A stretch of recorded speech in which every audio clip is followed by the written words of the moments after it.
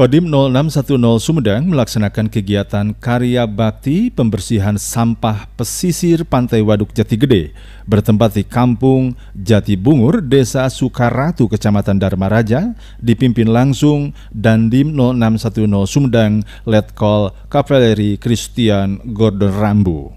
Kegiatan dihadiri Dandim 0610 Sumedang Letkol Kavaleri Christian Gordon Rambu, Porkopimcam Dharma Raja, Pasiter Kodim 0610 Sumedang dan Unit Intel Kodim 0610 Sumedang. Kasat Polairud, anggota Koramil 1010 Dharma Raja, anggota Polsek Dharma Raja, Kades Sukaratu, aparatur Kecamatan Dharma Raja, Ketua Karang Taruna Kecamatan Dharma Raja beserta anggota Karang Taruna, Ketua PAC, Ormas Pemuda Pancasila, Kecamatan Dharma Raja, serta warga masyarakat Desa Sukaratu dan Dharma Jaya, serta warga pedagang sekitaran Waduk Jatibungur. Dandim 0610 Sumedang Letkol Cavalry Christian Gordon Rambu mengatakan, gotong royong ini melibatkan personil Kodim dan Koramil, berbagai unsur pemerintah Kecamatan Dharma Raja, elemen masyarakat dan OKP dengan upaya mencegah terjadinya tumpukan sampah di sekitar pesisir Waduk Jati Gede, khususnya di wilayah Kecamatan Dharma Raja.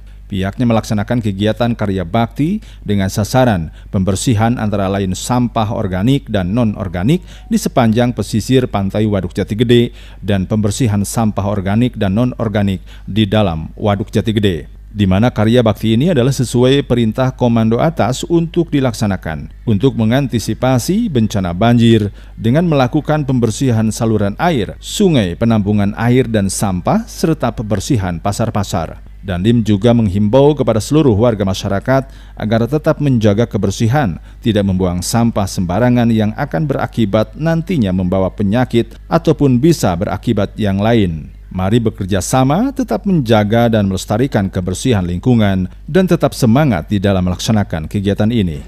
Kali ini eh, kami bersama-sama unsur Forkopimcam ini bekerja sama bergotong royong untuk membersihkan pesisir wilayah Kecamatan Dharma Raja khususnya dari sampah-sampah yang kita lihat di sini adalah sampah-sampah uh, plastik, sampah-sampah yang menggunung dari aliran Sungai Cimanuk. Untuk itu kami mengajak seluruh warga masyarakat agar tetap menjaga kebersihan, tidak membuang sampah sembarangan yang akan berakibat nantinya membawa penyakit ataupun bisa berakibat yang lain. Mari bekerja sama untuk tetap menjaga dan melestarikan kebersihan lingkungan kita. Tetap semangat.